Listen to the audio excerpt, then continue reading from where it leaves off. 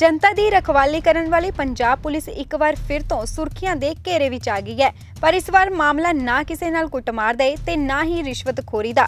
ਇਸ ਵਾਰ ਮਾਮਲਾ ਖੁਦ ਪੁਲਿਸ ਦਾ ਏ। ਬਠਿੰਡਾ ਐਸਐਸਪੀ ਨਾਨਕ ਸਿੰਘ ਵੱਲੋਂ ਸੀਆਈਏ 1 ਦੇ ਇੰਸਪੈਕਟਰ ਸਮੇਤ ਚਾਰ ਪੁਲਿਸ ਮੁਲਾਜ਼ਮਾਂ ਨੂੰ ਇੱਕ ਵਿਅਕਤੀ ਤੇ ਨਸ਼ਾ ਤਸਕਰੀ ਕਰਨ ਦੇ ਝੂਠੇ ਕੇਸ ਵਿੱਚ ਫਸਾਉਣ ਕਾਰਨ ਸਸਪੈਂਡ ਕਰ ਦਿੱਤਾ ਗਿਆ। ਦਰਅਸਲ ਬਠਿੰਡਾ ਦੇ ਸੀਆਈਏ 1 ਦੇ ਕੁਝ ਦਿਨ ਪਹਿਲਾਂ ਕੁਲਦੀਪ ਸਿੰਘ ਨਾਮਕ ਵਿਅਕਤੀ ਨੂੰ ਨਸ਼ਾ ਤਸਕਰੀ ਦੇ ਝੂਠੇ ਕੇਸ ਵਿੱਚ ਹਿਰਾਸਤ ਵਿੱਚ ਲਿਆ ਗਿਆ ਸੀ, ਜਿਸ ਤੋਂ ਬਾਅਦ ਉਸ ਵਿਅਕਤੀ ਵੱਲੋਂ ਜ਼ਿਲ੍ਹਾ ਪੁਲਿਸ ਮੁਖੀ ਦੇ ਕੋਲ ਆਪਣੀ ਸ਼ਿਕਾਇਤ ਦਰਜ ਕਰਵਾਈ ਗਈ ਤੇ ਫਿਰ ਪੁਲਿਸ ਵੱਲੋਂ ਕੀਤੀ ਗਈ ਕਾਰਵਾਈ ਵਿੱਚ ਸਾਫ਼ ਹੋਇਆ ਕਿ ਕੁਲਦੀਪ ਸਿੰਘ ਤੇ ਲੱਗੇ ਹੋਏ ਦੋਸ਼ ਝੂਠੇ ਨੇ ਅਤੇ ਉਸ ਨੂੰ ਝੂਠੇ ਕੇਸ ਵਿੱਚ ਫਸਾਇਆ ਜਾ ਰਿਹਾ ਹੈ। ਜਿਸ ਤੋਂ ਬਾਅਦ ਉੱਚ ਅਧਿਕਾਰੀਆਂ ਦੀ ਮੀਟਿੰਗ ਵਿੱਚ CIA 1 ਦੇ ਇੰਸਪੈਕਟਰ ਸਮੇਤ ਉਸ ਦੇ ਚਾਰ ਸਾਥੀਆਂ ਨੂੰ ਸਸਪੈਂਡ ਕਰ ਦਿੱਤਾ ਹੈ। ਇੱਕ ਕੰਪਲੇਂਟ ਆਈ ਸੀ ਸਾਡੇ ਕੋਲ, ਇੱਕ ਐਫ ਆਈ ਆਰ ਦਰਜ ਹੋਈ ਹੈ ਨੰਦਗੜ੍ਹ 'ਚ। ਉਹਦੇ ਬਾਰੇ ਕਿ ਜਿਹੜੀ ਉਹਦੀ ਤਫਤੀਸ਼ ਹੈ ਉਹ ਸਹੀ ਤਰੀਕੇ ਨਾਲ ਨਹੀਂ ਹੋਈ ਤੇ ਕੋਈ ਮੋਨੀਟਰੀ ਇਨਵੋਲਵਮੈਂਟ ਵੀ ਉਹਦੇ 'ਚ ਹੈ।